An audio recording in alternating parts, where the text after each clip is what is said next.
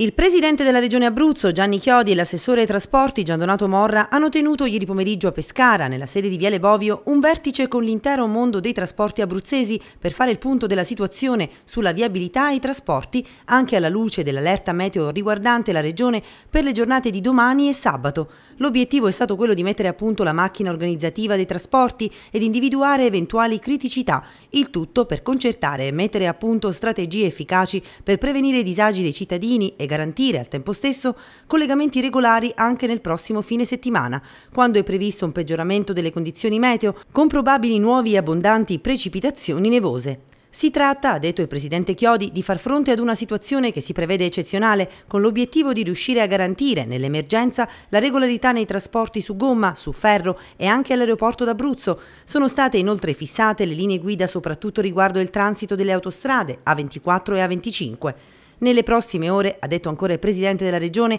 sarà già attiva una unità di crisi coordinata dall'assessorato ai trasporti della Regione Abruzzo che si interfaccerà con il COA e la strada dei parchi e che sarà operativa 24 ore su 24 con l'obiettivo di gestire le operazioni di coordinamento del traffico veicolare sulle autostrade, con particolare riferimento al traffico pesante e dei mezzi di linea che collegano Roma con l'Abruzzo. In questo caso ARPA ha chiesto, per garantire, in caso di forte maltempo, la sicurezza sicurezza degli utenti in viaggio sui pullman da e per Roma, anche un trasporto a convogli, con i pullman preceduti da mezzi spazzaneve e spargisale, con l'obiettivo di garantirne la partenza del mezzo di linea e il viaggio regolare fino alla destinazione finale. L'assessore Gian Donato Morra ha sottolineato che l'emergenza ha messo in rilievo l'importanza dell'intero sistema trasporti regionale e per questo che abbiamo ritenuto opportuno creare questa unità di crisi per coordinare al meglio l'emergenza e garantire un servizio di qualità al cittadino utente.